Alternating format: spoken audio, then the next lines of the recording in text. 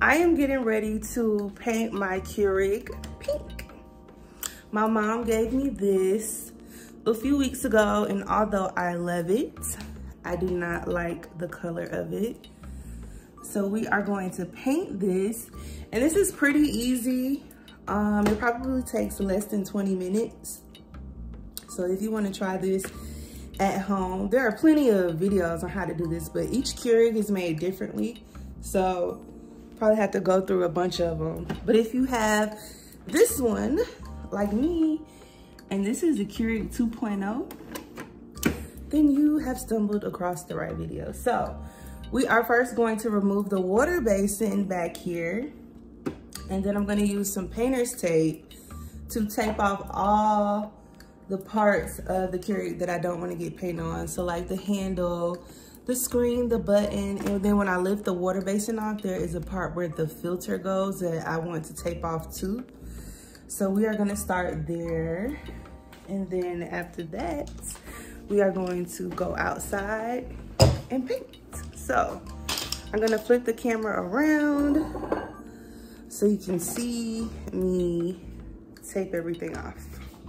Okay, so like I said, you have to first remove the water basin, which is this part right here. So I'm going to lift this off of here. And then this part down here is the part you want to cover up. And then I'm probably going to cover this part too. I feel like this hole feeds into the water basin. So I'm gonna cover that and that. And then I'm gonna also tape off all of the handles. And so yeah, we are going to get started.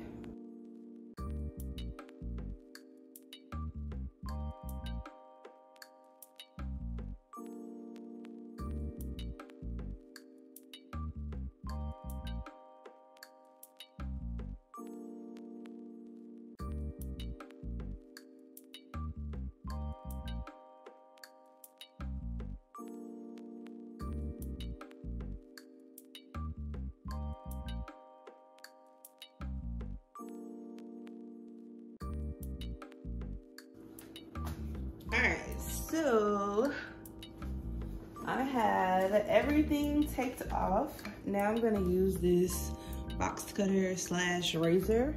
You can use an X-Acto knife if that's what you have. But I'm gonna go through and just kind of like cut around some parts where the tape was like too much. So I'm just cutting off the excess tape.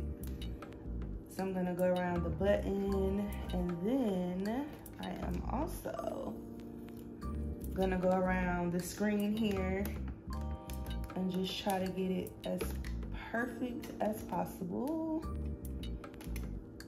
If you do get a little bit of spray paint on anything that's not supposed to have paint on it, you can use a Q-tip and a little bit of nail polish remover to um, kind of touch it up and clean up your mistakes, but hopefully you don't have to, but if you do, you can do that. Okay.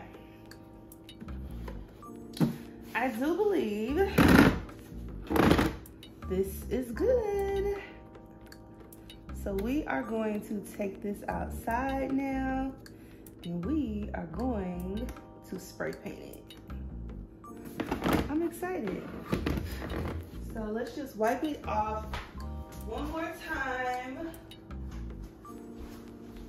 to make sure we have all the dirt off so that the spray paint is nice and smooth. We are ready to head outside.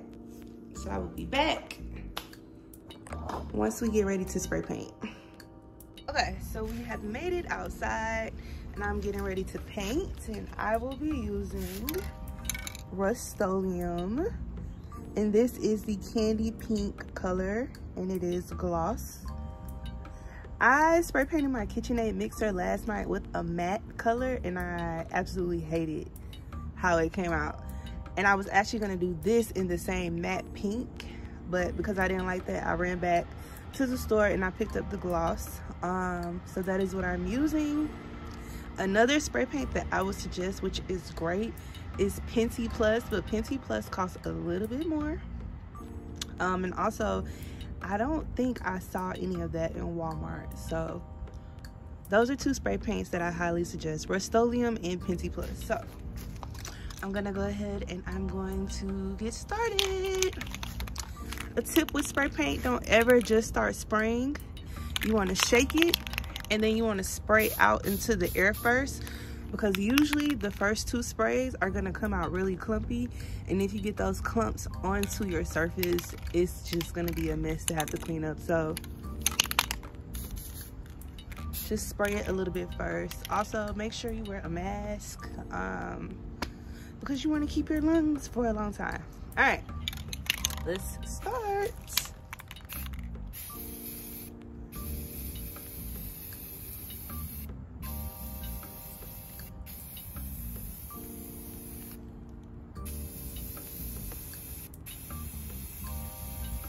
another thing with spray painting never spray paint up close on the surface. That is how you create drips. Spray paint from at least i would say two feet back. Because drips when you spray painting are such a hassle and a nuisance to try to correct. There's actually no way that you really can correct drips.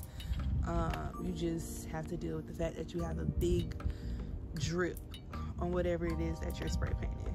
Hopefully you get it on the back if you do get them and not on the front of whatever it is. So spray paint from a distance and do not hold the spray paint in one spot for a long time. You want to keep constantly moving to make sure that the spray paint is evenly um, getting sprayed throughout and not just too much in one area because that will certainly cause a big drip and you don't want that. All right.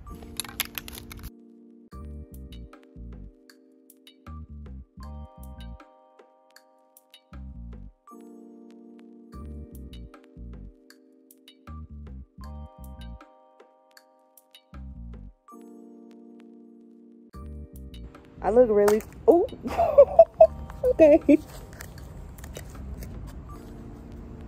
Okay, I look really crazy with this on, but um, so I think that's a good first coat.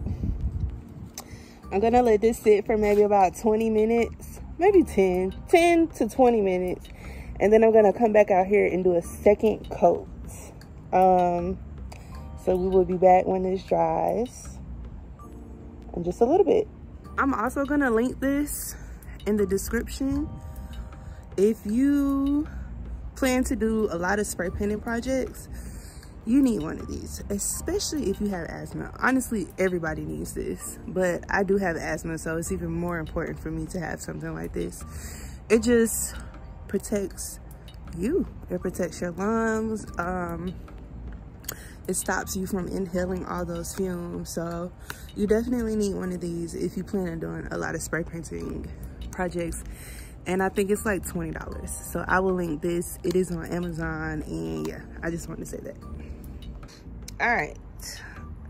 I think we are done. I went ahead and added a second coat. And then I also put a top coat of this clear gloss, gloss on just to seal it and for some extra protection. So we are gonna go ahead and we are going to take this inside, remove the tape and see what we have. All right, so we have made it back inside. It is dry. So we're gonna go ahead and take off all of the painter's tape. And then we'll be done. And like I said, if any paint like got on the screen or on the button, I'll go through with like a Q-tip and some, what's it called? Nail polish remover and touch it up. Hopefully I don't have to. This part is still outside drying. I missed a piece, so I might have to go back out and get that in a few minutes. And then I will show the finished product I lost a nail in the process of this and you're so cute. But um, anyways, yeah, we're gonna speed through this part because I'm sure you don't wanna sit here through another five minutes of me unwrapping it. So I'll be right back.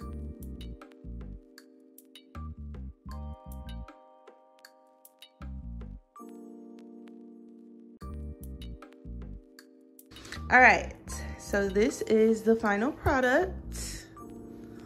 There were some imperfections. I did have to grab some of the nail polish remover and a Q-tip to kind of go around and um, touch it up a little bit. I know in some videos here, I have watched a few other videos of people do this to their Keurig, but they don't really show you the imperfections afterwards. So I'm gonna show you. Um, so this is not necessarily an imperfection, but if you do this and you're like, but what about the inside? I do just want to show you. So there are still some blue parts left, but that's totally fine in my opinion because you're never going to see this. Also, I don't want to get that close to the inside anyways with the paint because that is the part where the coffee is being made. So I personally would not worry about it. Um, another area that was a little bit challenging was the push button here. So you can kind of see where I kind of scuffed it up a little bit, but that was because I was trying to get around the ring to clean up the paint. So a tip, if you do get paint around the outer ring and it's kind of hard for you to clean it up with the nail polish remover, what I did was I grabbed a black Sharpie and I wrote or drew around the edges to kind of cover up that paint that I could not get out. And that's how I ended up scuffing that up. So I might go back and touch up the paint just a little bit or I might just leave it. So if you do this and you're like, oh my goodness, it's so hard to get the button, well, the paint around the button perfect, you're not gonna get it perfect. So don't feel bad. And like I said, you can use a Sharpie or some type of permanent black marker to just kind of paint over the paint that you can't get off. So um, yeah. And then the backside, I am not gonna worry about this at all. As a matter of fact, I actually did that on purpose. The basin is gonna sit here, so it truly just does not matter. But um, yeah, I just wanted to point out those things. Um, I did have to clean up around here. Um, but other than that, oh, almost knocked my tripod over.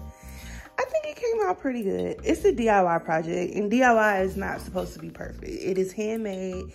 It did not come this way, so of course there will be some imperfections, but um, I'm satisfied. Now I'm going to go make a cup of coffee. So I just finished making a cup of coffee in my new pink Keurig. It looks so nice on my countertop. Um, it actually looks like it came this way. It does not look like I painted this. It looks like it literally came out of the box this way. You have to get super close to notice that it's painted. So this was super easy. I am in love with it. I hope that you are inspired and that you will paint your Keurig if that's something that you've been wanting to do. And if you do do it, I would love to see it. Find me on Instagram at I am Bianca Octavia and tag me or DM it to me so I can see it. And I'm gonna do a better job at creating longer format videos like this. I do a lot of reels and shorts, but not really detailed videos like this. So subscribe for more. I sound like a YouTuber. I always hate when I sound like that. But subscribe and I'm gonna give you a sneak peek before I go of my KitchenAid mixer that I also just spray painted. It's so pretty. So I did not do a long format video for this one. I just did a reel, but it's literally the same concept as the Keurig. You just take off all the pieces that you don't want to have spray paint on, which is basically just all the silver parts. Um, and then you spray paint it. So this is my matching set. I love it. And I'm thinking about maybe putting like a logo or something up here. I don't know yet. I don't know yet. We'll see. We'll see. But we'll circle back to this. For now, that is it. I am out. I'm going to grab my coffee and I'm going to go call my mom back. And I will be back with another video. Bye, y'all.